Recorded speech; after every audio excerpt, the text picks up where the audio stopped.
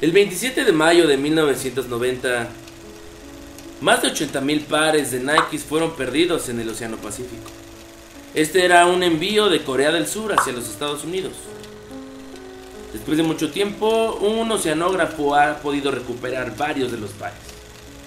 Por comentarios de él ha dicho que son bastante resistentes, hasta más duros que el mar. Podría decirse que ellos han viajado o han dado la vuelta al mundo más de dos veces desde esa época. Interesante, ¿no? Que comience Show Your Tongue. Bienvenidos.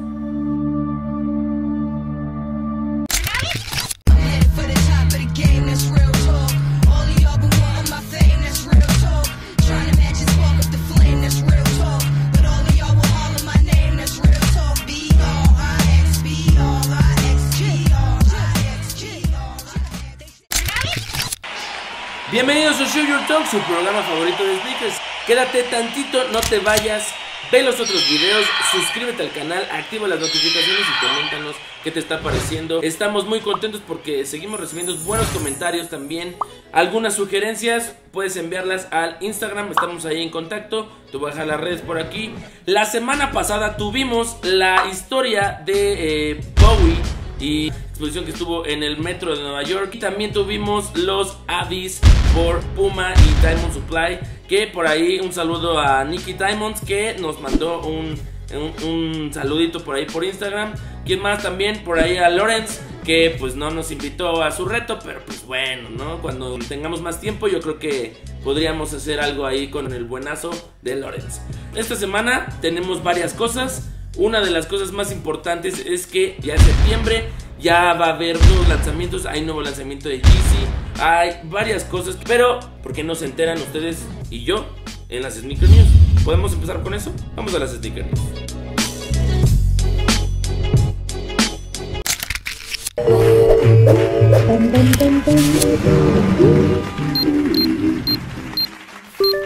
¿Qué tal? Sí, soy otra vez. Soy Eder Emerson y estas son las Show Your Tongue Sneaker News. Comenzamos. Suscríbete al canal, es gratis. A un lado está la campanita de notificaciones para que te alerte cuando estamos subiendo un nuevo video. Deja tus comentarios y si también quieres escribir por medio de Instagram, te voy a dejar mi cuenta para cualquier cosa. Estamos ahí. Estas son las Show Your Tongue Sneaker News. Empezamos. Kim Kardashian nos cuenta la verdadera historia de cómo es que se dieron los Yeezy Boost 350 que brillan en la oscuridad. La historia comienza con North, su hija, cuando Kanye y Kim la estaban tratando de convencer de que se pusiera sus Yeezy Boost Border. Ella no quería. Tratando de convencerla, le dijeron que esos tenis brillaban en la oscuridad, lo cual no es cierto. North, un poco más lista que sus padres, le dijo que apagara la luz. Se dio cuenta que esto no era verdad y Kanye le dijo, no te preocupes, los haré realidad. Lo importante aquí es saber por qué no se quería poner los Border. ¿Estará harta del tanto Yeezy? Los Yeezy Boost fueron anunciados por Kanye West para eh, próximas fechas y pues estamos en espera de ello. North también estará esperando por ellos. Los Blazers de Serena Williams ya tienen una versión para bebé. Serena Williams se fue a Instagram para agradecer a Virgil Abloh por la versión pequeña de sus Blazers of White que hizo el diseñador especialmente para su hija Olimpia. Este par es una reproducción exacta de la versión para adultos de los Blazers de Serena Williams con un swoosh ampliado, acentos de neón y una suela multicolor. Mientras que la etiqueta colgante, ese brochecito que se pone ahí, viene en otro color, viene el color amarillo o fosforescente, viene en un tamaño normal para hacerlo ver un poco más exagerado y que llame más la atención.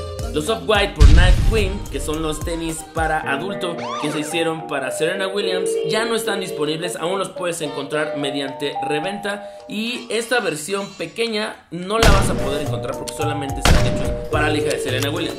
Quién sabe, tal vez en algún momento podremos verlos. Eso no lo sabemos, seguiremos informando. Supreme London es vandalizado. La tienda del Box Logo más famoso del mundo fue vandalizada en Londres. Y esto se dieron cuenta mediante un video donde se nota a un individuo queriendo quitar el logo que está afuera de la puerta. Por lo que se puede ver en el video de seguridad no se alcanzó a llevar el Box Logo. Simplemente lo intentó quitar y no pudo. El gerente de la tienda de Supreme Londres está buscando al vándalo y está ofreciendo una buena recompensa. Ofreciendo una crewneck con el box logo a quien le pueda brindar información para llegar al paradero de este vándalo que intentó robar el box logo. Si conoces al vándalo y lo identificaste, puedes enviarle un DM al Instagram de Mr. Jagger, quien es el gerente de la tienda de Supreme Love. Esperemos que lo encuentres. ¿Eres un fan de Basquiat? Stans sacó una colaboración con Jean-Michel Basquiat y quedan pocas aún están disponibles en las tiendas de Stacks. Las puedes seguir viendo a través de este programa. Continuamos con el programa. Ustedes chequen más acerca de Jean-Michel Basquiat. Show Your Tongue Sneaker News acaba de terminar. Usted está informado. Hasta la próxima.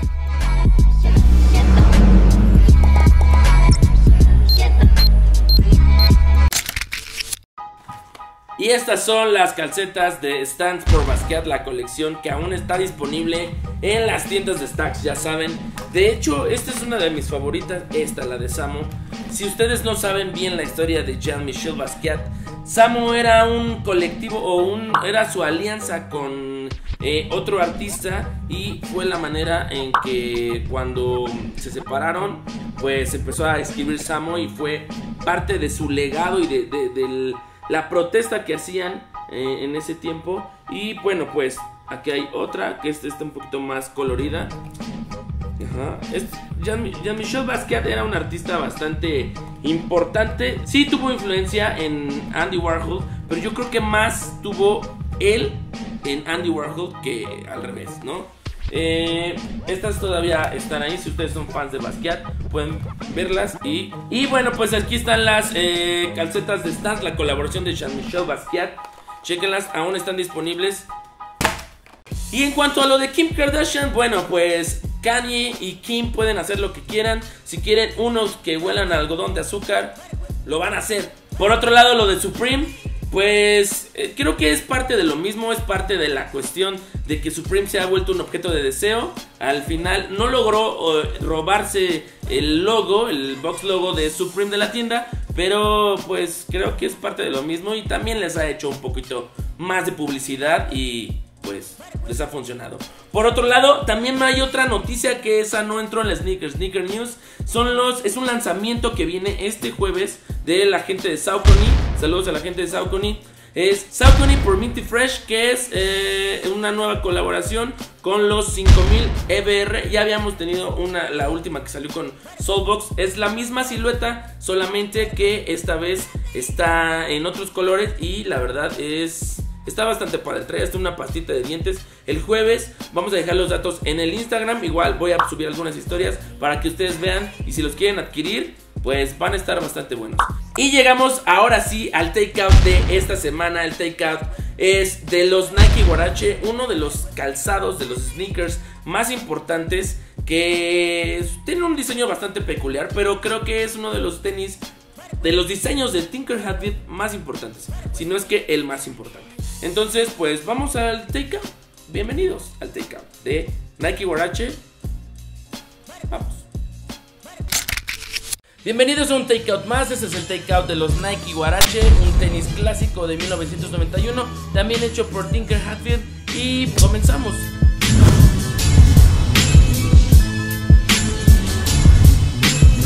Gracias por ver este video, suscríbete al canal, a un lado está la campanita de notificaciones que te va a avisar cuando estemos subiendo un nuevo video, un nuevo contenido.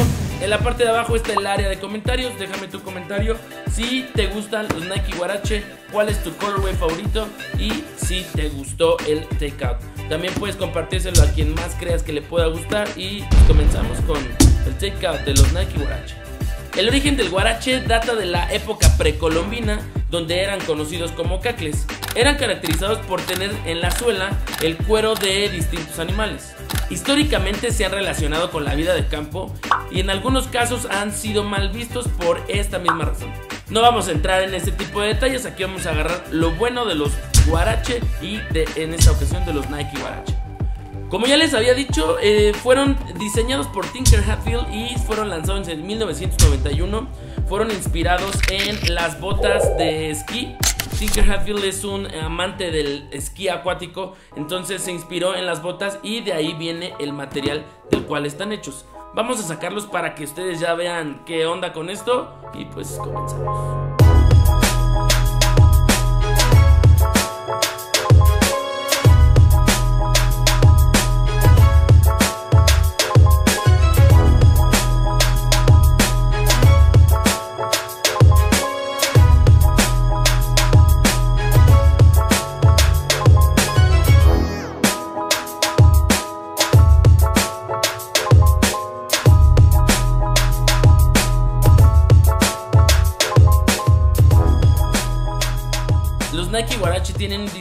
Realmente peculiar. Podrían ser los inicios de los Dad Shoes. Realmente son un diseño raro, pero esa peculiaridad fue la que le dio el éxito y ser uno de los tenis más vendidos y de los mejores modelos que diseñó Tinker Hatfield. Los Nike Guarache es lo que ahora conocemos o lo que ya les he comentado, que son como unas calcetas con suela. Lo que Tinker Hatfield pensaba es que tenían un problema porque los tenis que tenían en esa época no se adaptaban a las distintas formas de los pies de las personas. Para ello buscó un material que fuera lo suficientemente flexible, que se estirara, pero que también tuviera esa dureza y esa rigidez para amoldarse a la forma de un pie distinto de una persona a otra. Y por eso están hechos de neopreno. El neopreno es el mismo material del cual están hechos los trajes de los buzos, que es, es, bastante flexible si lo estiras, pero en su forma original es bastante ajustable, bastante rígido y por lo tanto es cómodo. Y de ahí es de donde vino el eslogan de la campaña You Hugged Your Feet Today, que era ya abrazaste tu piel el día de hoy, eh, la manera de, de, abrazar, de contraer y de darle una mayor eh, estabilidad y sujeción a la hora de utilizar un calzado como lo es el Nike Guarache. Tinker Hatfield comenzó dibujando sobre la estructura de neopreno, este exoesqueleto, esta, este soporte de plástico, y de ahí fue como empezó a diseñarlo. Él lo presentó a la junta de diseño con Sandy Bodecker, y Sandy Bodecker lo que hizo fue escribir sobre el sketch Sneaker of the Gods, que era, eh, pues él creía que estos eran los tenis que los dioses utilizarían. Mencionaba que eran los tenis que podía utilizar Zeus o Mercurio o algún otro dios más. Los Nike Guarache fueron un diseño revolucionario.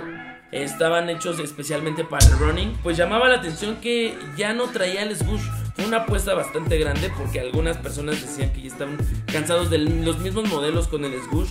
Yo creo que no era por ahí el rollo, pero podemos ver que este eh, Nike Guarache lo único que tiene es el Nike acá atrás y el Guarache aquí enfrente.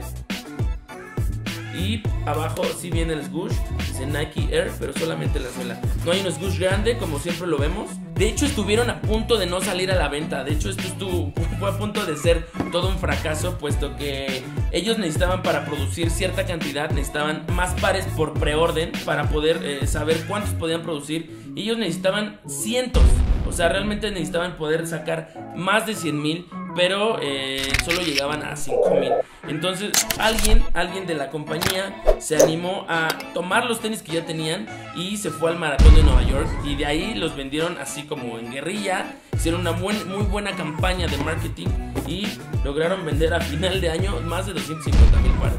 Estos fueron, los Nike Guarache fueron diseñados especialmente para el running, pero fue tal su éxito que de ahí saltaron para el básquetbol, para el cross training, lo utilizaron en el tenis, André Agassi lo utilizaba, eh, Michael Johnson también lo llegó a utilizar, también lo llegó a utilizar Michael Jordan en algunas presentaciones, Kobe Bryant tuvo unos en 2005 más o menos, que eran los 2K4, 2K4, han tenido colaboraciones con muchas marcas, Undefeated, eh, la primera colaboración que tuvieron fue en el 2000 y esa primera colaboración fue con la marca Stussy y de ahí no han parado, realmente son un calzado y es un sneaker que no va a pasar de moda. Es un modelo atemporal, tiene 27 años más o menos, 28 años más o menos desde el 91 y pues no han pasado de moda y no van a pasar de moda. Ahorita yo tengo estos que son los eh, colorway blanco, es el sencillo, white, all white y all black que realmente, bueno, no, no, no es blanco, porque realmente trae el guarache en blanco. Este calzado habla por sí solo. El sizing es justo, eh, el neopreno es, está haciendo su trabajo, entonces yo recomiendo que utilicen una talla más grande. Estos son 7 y medio, no me quedaron, yo regularmente utilizo 7 y medio, me quedan justos, entonces creo que sí podría utilizar un 8 hasta un 8 y medio, dependiendo lo largo. Pero si puedes probártelos antes, hazlo porque es lo que vas a necesitar para poder llevarte el indicado. Neopreno.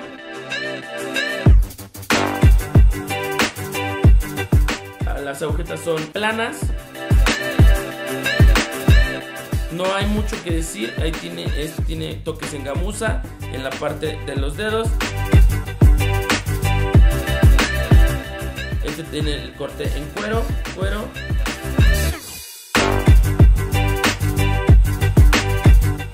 Esta parte del Nike lo podemos usar como pull que realmente es bastante fuerte, no creo que se llegue a reventar. El midsole debe ser de eh, foam, de EVA. Y la suela trae eh, tracción, igual para el running, pero de un material un poco más eh, rígido para el desgaste, ¿no? No hay mucho más que decir sobre estos Nike Guarache. Son un básico y eh, si te gustan, pues cómpratelos. Si no te gustan, tal vez hay algunos otros colores que te podrían gustar. Hay varias colecciones, eh, como los OG que salieron en un principio. Yo fui Eden Emerson. Eh, suscríbete al canal, déjame tus comentarios. Si te gustó este takeout, pues compárteselo a quien tú creas que le pueda gustar. Y los Nike Guarache, listos para el running, para la calle, para caminar, para ir a pasear, lo que quieras. Hasta luego.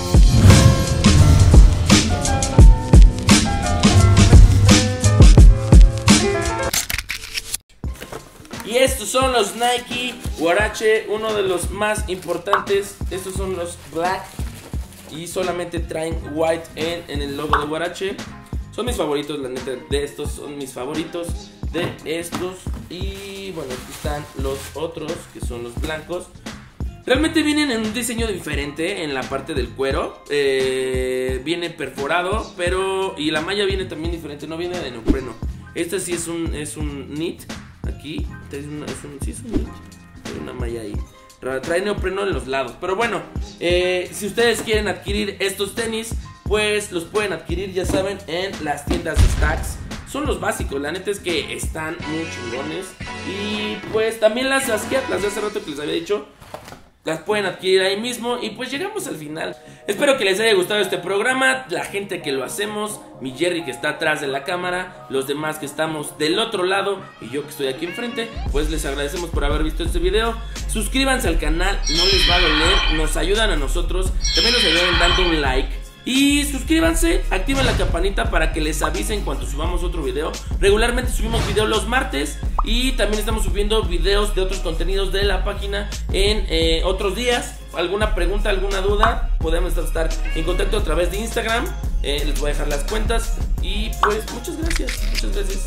Gracias a todos ustedes por habernos visto. Nos vemos la siguiente semana en otro programa más de Show Your.